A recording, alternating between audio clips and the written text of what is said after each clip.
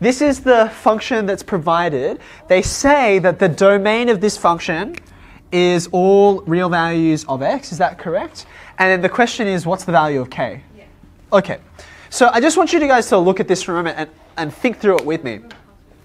You've got a function. I know normally you might think of, oh, there's a square root, right? There's a square root. So therefore, um, that means that I've only got positive values, right? I've only got positive values.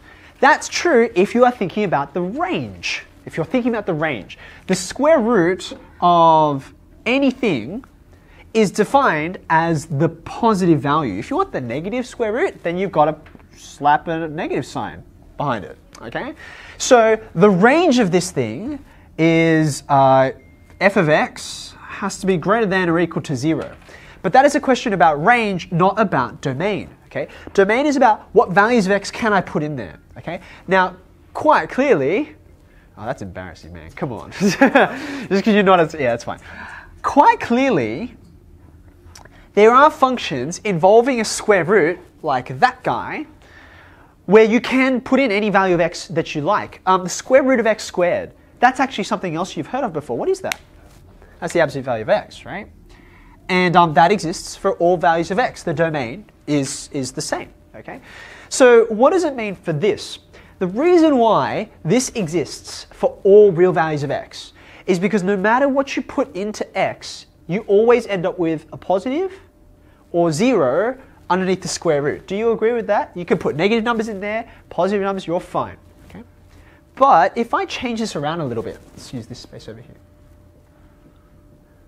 Let's try something like this. Okay? What is the domain of this? I need to make sure that everything underneath the square root is greater than or equal to zero. So this, if I solve this, that will give me the domain of this function here. Um, as it happens, let's see, that's x squared minus 1, so roughly it looks like this. Um, so that's 1, that's negative 1. Okay, so which points am I interested in? Um, x is less than or equal to negative 1 is okay. That's all right, that's above. Or x is greater than or equal to positive 1. That's also okay. Right? So in a case like this, you can see the domain isn't everything, it's only some things. Okay? Let me give you one more example. Square root of x squared plus 1. Plus 1 instead of minus 1. What's the domain now? The domain of this one is all real x, just like this one, because, think about it. Think about what's underneath the square root. Think about x squared plus 1. When is this graph greater than or equal to 0? And if you think about it, like I deliberately chose this because it's an easy graph. When you think about the graph, it's always greater than or equal to 0. Every value of x, they're all fine. These guys are all fine. Okay? Now, convert that over to what this question is about.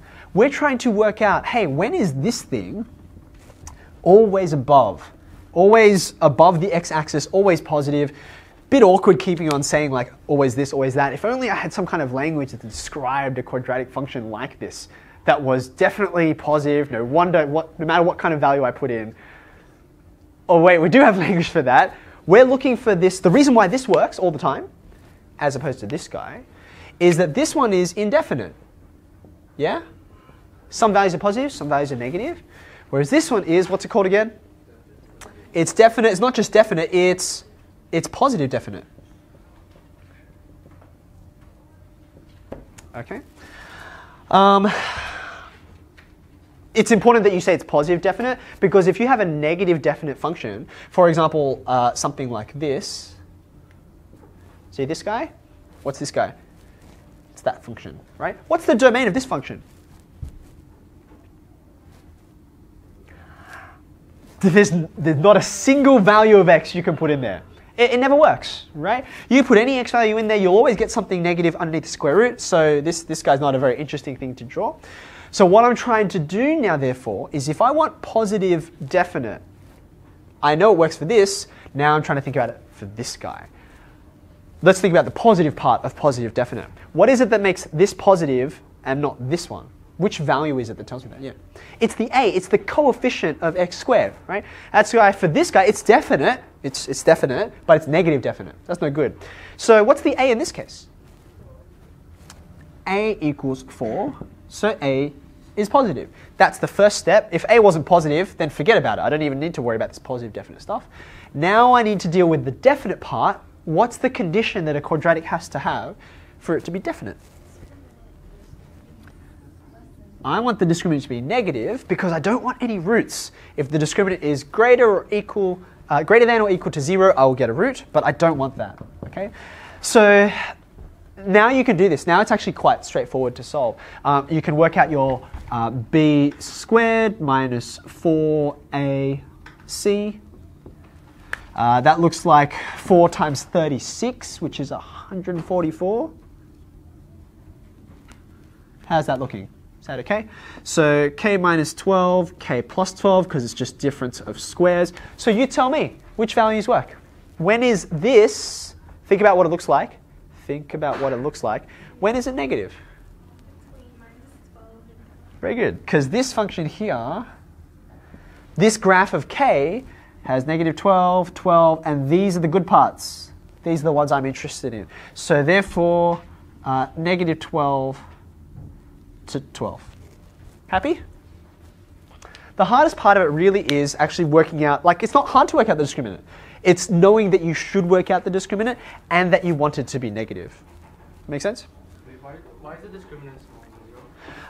If I want this situation here, right, where, yeah, cool, the parabola is always above, the way to know that a parabola is always above is that there are no roots.